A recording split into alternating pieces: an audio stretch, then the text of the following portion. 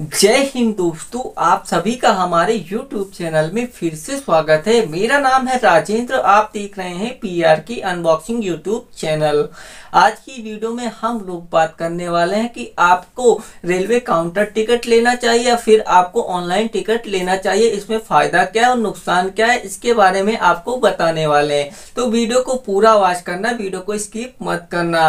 Video start करने से पहले प्यार भरा रिक्वेस्ट करना चाहूँगा। अगर वीडियो पसंद आए तो वीडियो को लाइक कर देना। इसी तरह की वीडियो देखने के लिए हमारे चैनल को सब्सक्राइब कर लेना। साइड में बेल आइकन दिख रहा होगा उससे प्रेस कर लेना ताकि आने वाली वीडियो की नोटिफिकेशन आपको सबसे पहले मिलती रहे। चलिए हम बात कर लेते हैं पहले पीआरएस टिकट के बारे में कि उसके आप जाएँगे तो उसमें क्या क्या करना पड़ता है।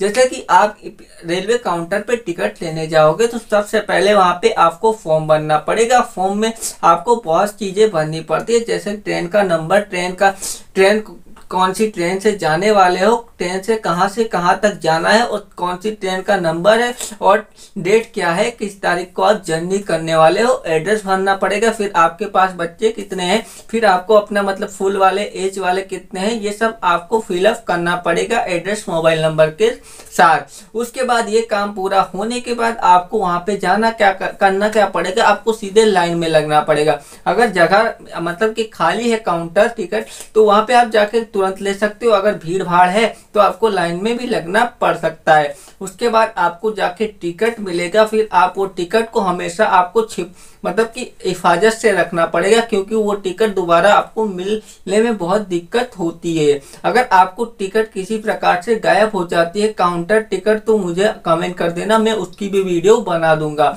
तो ये हो गए मतलब कि मतलब कि नुकसान की इतनी हमें परेशानी झेलने के बाद पीआरएस काउंटर टिकट मिलता है। अब बात कर लेते हैं ऑनलाइन टिकट के बारे में। ऑनलाइन टिकट में क्या है? आपको सिर्फ़ आईडी बनानी होती है, फिर एजेंट के पास जाना होता है। आईडी बनाने के बाद आपको क्या करना पड़ता है? आपके पास आईडी है तो यूज़र नेम पासपोर्ट देखो। मतलब यूज़र नेम पासपोर्ट से लॉगिन हो जाओ, उसके बाद नाम फिलअप करो एज फिलअप करो ट्रेन मतलब सर्च वर्च करके उसके बाद अपने घर बैठे, उसमें क्या कर सकते हो कि आप अपना टिकट कंफर्म करवा सकते हो या फिर वेटिंग लिस्ट में भी होती है आर भी होती है। ये हो गया मतलब कि घर बैठे ये काम होता है। अब बात करते हैं नुकसान और फ़ायदे की, कि किसमें नुकसान है किसमें फ़ायदा है। अब बात कर लेते हैं पहले कि आपको फ़ायदे के बारे में, कि नुकसान के बारे में तो सबसे पहले मैं बता दूँ कि आप जैसे कि ऑनलाइन के बारे में बात कर लेता हूँ। ऑनलाइन टिकट अगर आप कैंसिल करने जाओगे तो आपको जो मतलब कि ट्रेन टिकट के जो चार्ज लगते हैं, उसके बावजूद भी आप टिकट बुक करने जाते हो तो उसके में जीएसटी वगैरह का चार्ज मतलब कि 600 की टिकट है तो आपको छः साढ़े छः सौ के आसपास या सात सौ के आसपास वो ऑनलाइन टिकट पड़ेगी, क्योंकि उसमें जीएसटी लिया जाता है। फिर और भी कई चार्ज इंक्लूड होते हैं तो उसमें सात सौ के आसपास पड़ जाएगी।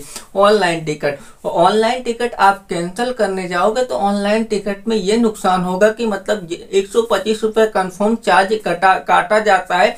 तो ये तो कट कट गया जो कंफर्म चार्ज है, उन्होंने कैंसिल के तौर पे उन्होंने अपना काट लिया कैंसिल कराने जाओगे तो उसके बावजूद जो जीएसटी वगैरह ये लोग लेते हैं, वो चार्ज आपको वापस नहीं करेंगे। बस एक सौ के सिवा जो जीएसटी वगैरह का चार्ज है, ये काट लेंगे। ऑनलाइन ऑनलाइन वाले ऑनलाइन बुकिंग में ये नुकसान है कि मतलब ऑनलाइन बुकिंग में ये सारे नुकसान है कि आपका जो जीएसटी कटा होता है, वो पैसा वापस नहीं आता है, बल्कि 125 से ज़्यादा, उससे ज़्यादा हमें मतलब 125 कंफर्म चार्ज होता है कैंसिल करने पे तो हमें 125 की जगह डेढ़ सौ रुपया भूलना होता है। प्लस अगर आपकी टिकट वेटिंग रह जाती है तो वेटिंग लिस्ट में ऑनलाइन में आप यात्रा नहीं कर सकते। अब बात करते हैं फ़ायदे के बारे में तो इसका नुकसान फ़ायदा मैंने ऑनलाइन का बता दिया अब बात करते हैं बीआरएस काउंटर टिकट के बारे में, उसमें क्या आपको फ़ायदा है, क्या नुकसान है?